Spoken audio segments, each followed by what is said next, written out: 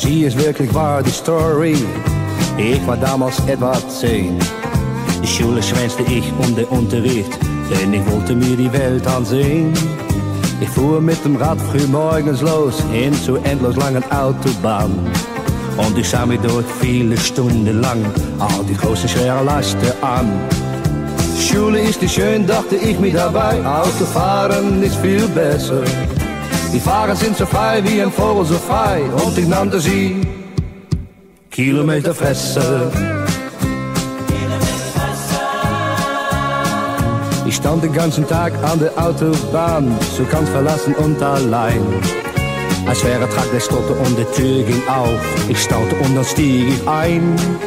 Der Fahrer lachte mich von der Seite an und sagte, sorry kleiner Mann, du bist noch viel zu jung für den harten Job, aber schau dir mal den Laster an.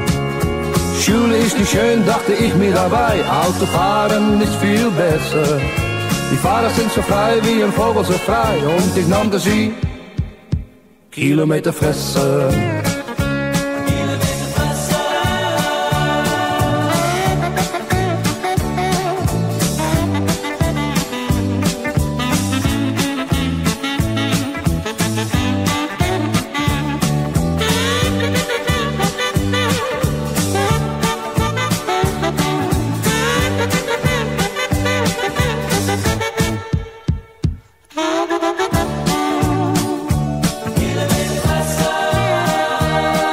Und ich schuftete Tage und Nächte, vor meinen Augen nur ein Ziel.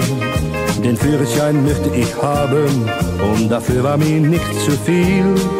Und nun bin ich einer dieser Kerle, die ihr Leben leben auf nem Drück.